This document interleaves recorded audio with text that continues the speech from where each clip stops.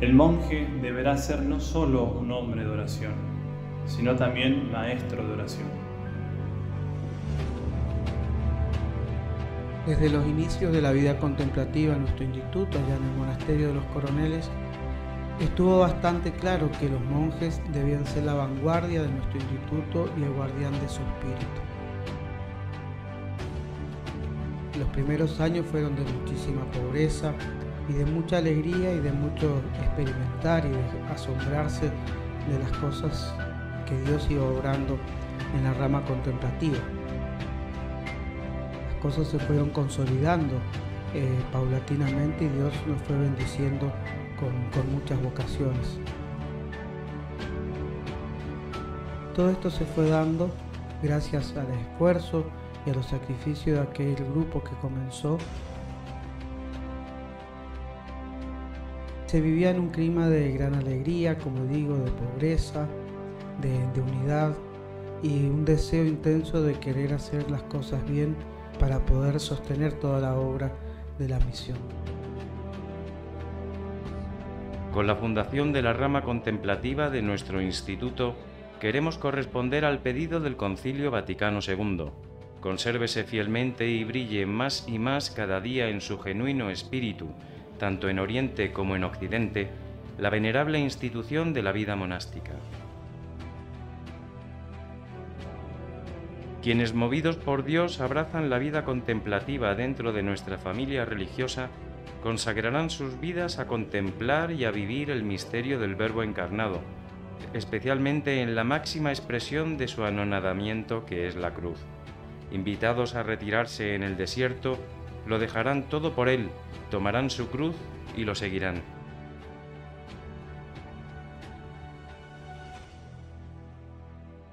El día de un monje se constituye fundamentalmente de tres momentos fuertes, la oración, el trabajo y el estudio. La oración en el monasterio no se limitará a actos aislados, sino que será un acto de continua alabanza. A medida que el monje va creciendo en virtud y pureza de corazón, su oración aumenta en perfección hasta que, llegado a las cumbres, vive unido habitualmente con Dios. Además, la vida contemplativa no se puede sostener sino con una profunda vida de oración litúrgica, por lo que los monjes se ejercitarán especialmente en ella, ya que sus oraciones, sobre todo la participación del sacrificio de Cristo en la Eucaristía y la celebración del oficio divino son la realización del oficio preclarísimo de la glorificación de Dios. La Santa Misa es el acto litúrgico por excelencia y la cumbre y centro de la vida del monje, fuente de donde él sacará fuerza para todo el día. Así, la celebración y participación de la Santa Misa cotidiana será la primera obligación del monje manifestando su amor a Jesucristo presente en la Santísima Eucaristía, además de la celebración y participación plena del sacrificio del altar. Los monjes adorarán al Santísimo Sacramento durante una hora al comenzar el día y durante otra al terminarlo, que serán los dos polos donde encierren su día de alabanza a Dios. En la vida contemplativa, el oficio divino ha ocupado y ocupa un lugar especialísimo, por ello se cantará todos los días el oficio completo, oficio de lectura, laudes, hora intermedia, vísperas y completas. En ocuparse con fervor de las alabanzas divinas se conocerá al verdadero monje. La búsqueda de Dios tras las huellas de Cristo implica la obligación de unir la oración litúrgica y privada al trabajo manual e intelectual. Cualquiera fuese el tipo de trabajo a realizar, el monje tendrá siempre presente la finalidad principal, la unión con Dios. El trabajo, pues, ha de ser verdadero medio de contemplación. Además del trabajo manual, el monje dedica una parte del día a la vida intelectual, ya que seguir a Cristo como verdad significa aplicar la inteligencia para más conocerlo, pues la riqueza que se encuentra en Cristo es inagotable. Para el religioso contemplativo, será el estudio alimento de la oración y la oración luz para su estudio, y ambas actividades se elevarán en un solo canto de alabanza a Dios. En nuestra casa de formación en el Monasterio del Puello hay clases de las materias teológicas por la mañana y por la tarde un tiempo para dedicarse al estudio personal.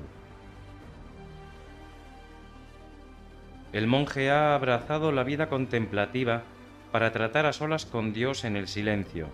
El silencio es una necesidad del alma contemplativa que manifiesta la manera más profunda que en presencia de Dios no hay nada más que decir. En la soledad de su celda oculta para el mundo, el monje podrá conocerse, reformarse e imitar a nuestro Señor, que vivió oculto treinta años de su vida en Nazaret, y aun en su vida pública buscaba frecuentemente la soledad. En la celda, el monje ha de dedicarse a la práctica tradicional de la lección divina, esto es, a la meditación de la palabra de Dios y a la lectura de los santos padres, como así también al estudio y al trabajo manual. Desde los comienzos del monacato, la recreación acompañó a la vida de oración y penitencia de quienes se retiraban al desierto para hallar al Señor. Las recreaciones diarias de los monjes serán, pues, descanso para el alma a la vez que una ocasión de practicar virtudes, ganar méritos y fomentar la vida comunitaria. Todo monje del Instituto del Verbo Encarnado deberá tener para con la Santísima Virgen una particular devoción. Deberá buscar en ella fortaleza en los momentos de prueba y se esforzará por vivir en pleno la devoción interior y verdadera de los esclavos de María, según el espíritu de San Luis María Griñón de Montfort.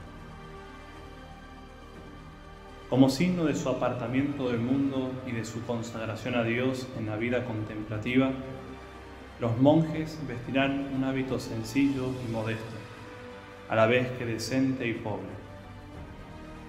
Al colocarse el sayán, el monje deberá recordar que ha de revestirse de aquellas virtudes que en cuanto monje quiere reflejar del misterio de la vida de Cristo.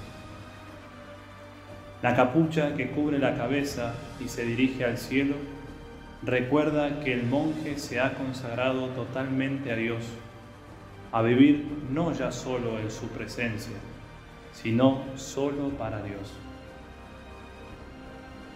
El cinturón de cuero ciñe el sayal y es signo de la penitencia que el monje está llamado a practicar La espalda y el pecho quedan protegidos por el escapulario de la Virgen, pues como todos los miembros de nuestra familia religiosa, los monjes harán un cuarto voto de esclavitud mariana, imitando particularmente en cuanto monjes al verbo que se ofrece al Padre, silencioso y escondido en el seno de María. El color blanco pretende simbolizar la transfiguración las vestiduras blancas, blanqueadas por la sangre del Cordero, y las tres cosas blancas que caracterizan a la Iglesia Católica, la Eucaristía, la Santísima Virgen María y el Santo Padre.